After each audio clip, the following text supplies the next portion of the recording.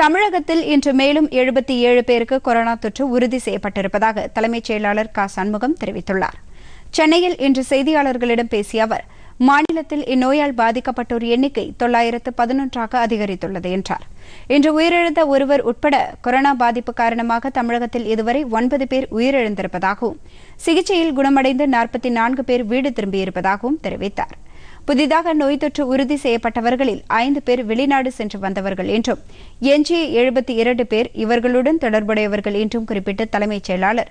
இவர்கள் அனைவரும் நோய் தொற்று பாதிப்பு ஏற்படக்கூடிய வாய்ப்புள்ளவர்கள் என்ற அடிப்படையில் தனிமைப்படுத்தப்பட்ட பகுதிகளைச் சேர்ந்தவர்கள் என்றும் தெரிவித்தார்.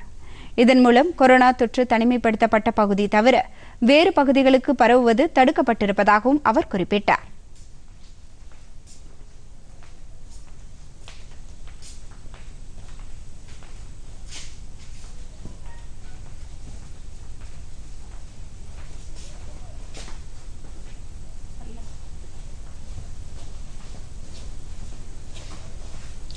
மேலும் எஸ்ஏஆர்ஐ எனப்படும் தீவிர நுரையீரல் பாதிப்பு உடைய எழுபத்தி ஒரு பேருக்கு கொரோனா பரிசோதனை நடத்தப்பட்டதில் யாருக்கும் பாதிப்பு இல்லை என்று தெரிய வந்திருப்பதாகவும் அவர் கூறினார்.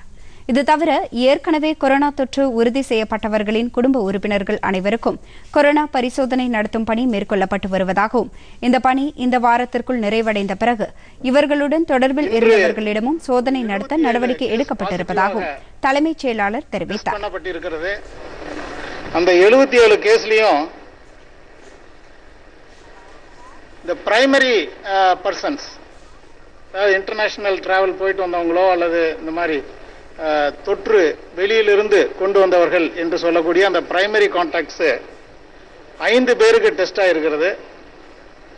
அவர்களோடு தொடர்பில் இருந்தவர்கள் என்று ஒரு எழுபத்தி ரெண்டு பேருக்கு பாசிட்டிவ் ரிசல்ட் வந்திருக்கிறது.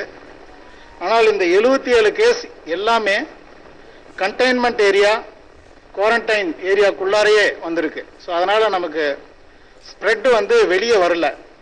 இந்த இருபத்தி நாலு மணி நேரத்தில் கடந்த இருபத்தி நாலு மணி நேரத்தில் எழுபத்தி ஒரு கேஸ் சிவியர் அக்யூட் ரெஸ்பிரேட்டரி இன்ஃபெக்ஷனுக்காக நமக்கு வந்து பரிசோதனைக்கு வந்திருக்காங்க. தமிழ்நாடு பூரா பிற பகுதிகளிலிருந்து எல்லாம். ஆனால் அதில் எதுவுமே வந்து பாசிட்டிவாக வரல. ஊரடங்கு காலத்தை நீட்டிக்க வேண்டும் என்ற மருத்துவர்கள் குழுவின் பரிந்துரையை முதலமைச்சர் ஆய்வு செய்து வருவதாகவும் அவர் குறிப்பிட்டார்.